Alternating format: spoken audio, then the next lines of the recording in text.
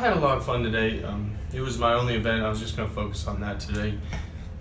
And coming in as the, the top dog, it was kind of kind of that chip on your shoulder, and you kind of got to focus and make sure that you get things done. Not just saying, "Oh, I'm top dog, so this is going to be easy." Was, I still had to go out and compete today. Once I finally got the win, then we started taking a few good jumps at some higher heights. Got my teammates involved, get some claps going and whatnot. So one at six four, and then we pushed it up to to six eight, which was my is my best. So we tried to tie that. Didn't happen today, but I mean I had a lot of fun. Uh, definitely gearing up for uh, the heptathlon by indoor conference. I'm gonna pull one of those um, next weekend at UIndy. Hopefully that goes well. Kind of used today as a little high jump practice so that I can focus more on some of those, um, I guess, weaknesses, so to speak, in the heptathlon. So looking forward to next week through practices and whatnot.